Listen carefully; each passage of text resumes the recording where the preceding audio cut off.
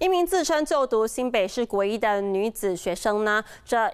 一号晚上是在台北捷运的西门站呢，翻越了栅栏逃票，并且将过程抛在网络上炫耀，引起舆论挞伐。可以画面中看到这名呢女学生翻越进捷运的月台，并且没有刷卡或是买票，还在贴文中写着“暑假太无聊了，只能自己找乐趣”。对此呢，台北捷运公司表示，经过调阅监视器画面，违规事实明确，可处以新台币一千五百元罚款，再加上无票搭车，除了补缴票价之外呢，还得支付票价。五十倍的违约金，总共必须要付出三千多的代价。